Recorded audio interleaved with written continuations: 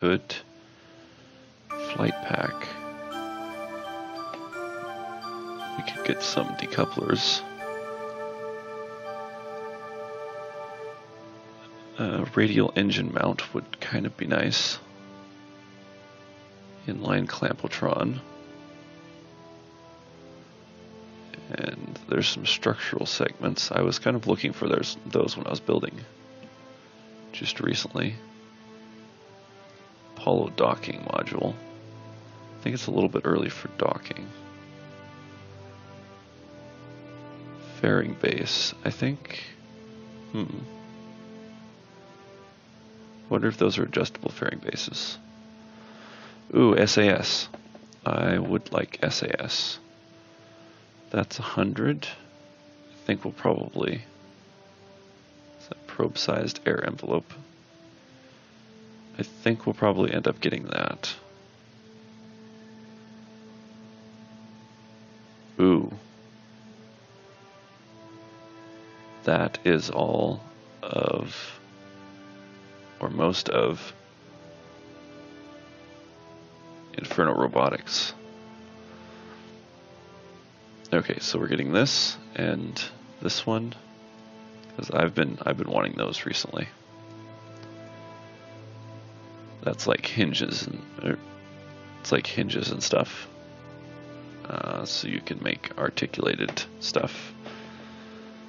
Like there's a bunch of stuff that I wanted to pack into the fairing, but I couldn't because it was too wide. Now I won't have that problem.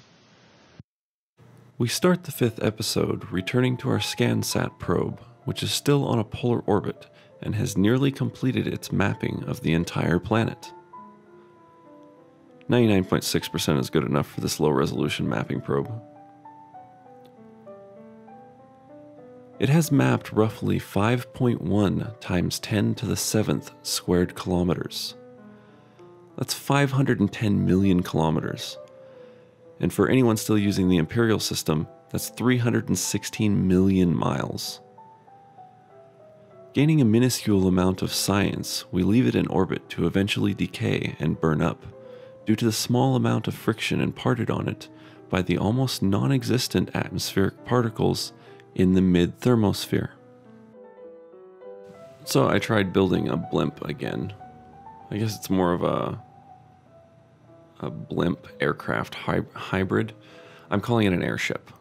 Let's just let's let's stick with airship. That uh, describes it quite well. The buoyancy control allows for very small amount of runway for takeoff and landing, which means that it's really good at landing in rough terrain or small patches of smooth terrain. unfortunately, it doesn't have reverse thrusters. That's kind of something that a, uh, a little bit of an oversight there that I will probably add in. We're still in the very early stages of testing this thing. This is actually only its second flight. Uh, this is a high altitude test. See how high in the atmosphere we can actually get. I have previously done one other test flight to establish the aerodynamic stability of it, just doing some minor tweaks to make sure that it's properly balanced. But in any case, it uh, flies better than any plane that I've previously constructed, so that's good. Like right now, we're doing uh, 180 meters per second. That's 400 miles per hour, and we're at 60 degrees ascension. Well, 83 degrees if you got that on the display. It does have quite a nice cockpit. This is actually a B9 capsule. Bob is going nuts. Um, you might be wondering why I have so many radial air intakes on the bottom facing the wrong way. Uh, besides making it look really awesome, it provides a nice skid for a water landing, um, as the radial air intakes are extremely hydrophobic.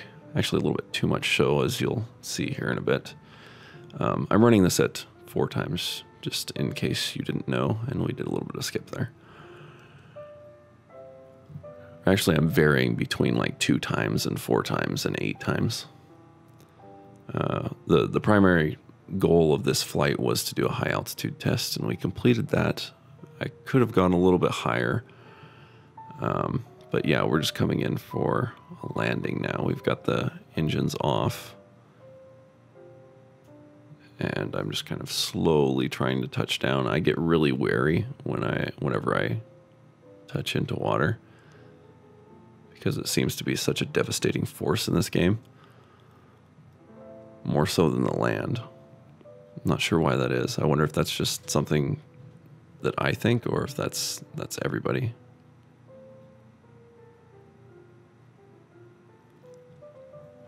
And then we get a little bit of uh, slowed frame rate here. You don't, you're not seeing too much of it now because it's at uh, two times. But when I was playing, it dropped like 10 frames as soon as I touched the water. So yeah, I definitely should add some reverse thrusters on that, on the main body or something to slow it down. Of course, I also could replace the radial air intakes for a proper skid, and that would give us enough friction to slow down in a more reasonable amount of time. Uh, so yeah, we attempted the water takeoff, and it was nice and successful, and we're just coming around for uh, land landing. Again, to demonstrate the its capability at landing at slow speeds and not taking up very much runway. I'm hoping to eventually shuttle some science experiments around. Um, you know, get them to different biomes and possibly use this as a high altitude launcher. I think I'd have to add some more balloon parts to it or possibly reduce the weight. We'll see how that goes. I might just scrap this design entirely in favor of something that gets us around a little bit quicker since we don't have to worry about a budget yet. But I don't want to get ahead of myself. The big flat surfaces on the front end, well, primarily the front, make it kind of difficult to control. I added those surface, I added those control surfaces on the outsides and the top, which make it a little bit better. But it still could be controlled uh, it still could be a little bit more easier to control.